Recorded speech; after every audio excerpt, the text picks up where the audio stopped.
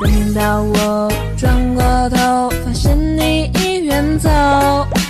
眼泪终于忍不住滴落湿衣袖。我感动的弹奏着故事里那首儿歌，缤纷的音乐盒，木马还旋转着，停着的。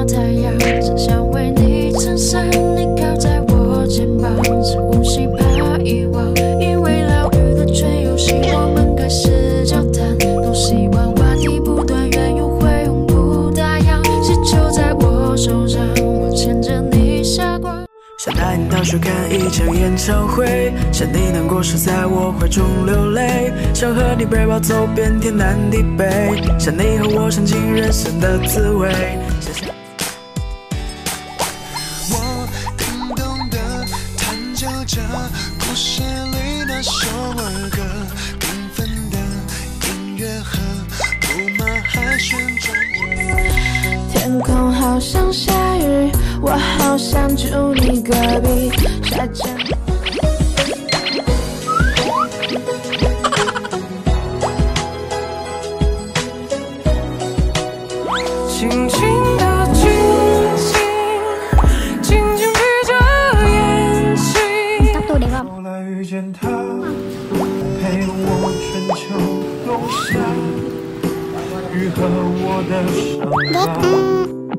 大概我会一直幸福。在感伤的路，只有你牵手，最美的 Love you。用 xa là thứ giết chết đôi ta vì khoảng cách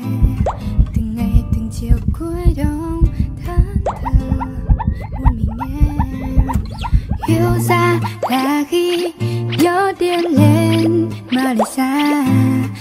Tưởng rằng tưởng rằng tin nhắn kia quá phớt lờ với em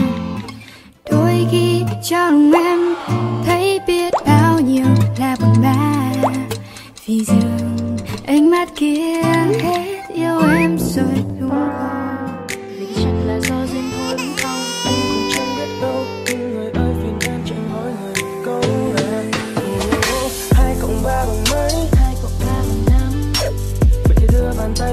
cho anh nắm tay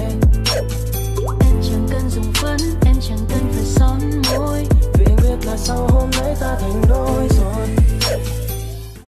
Đừng quên like và subscribe Mật Ngọt TV nhé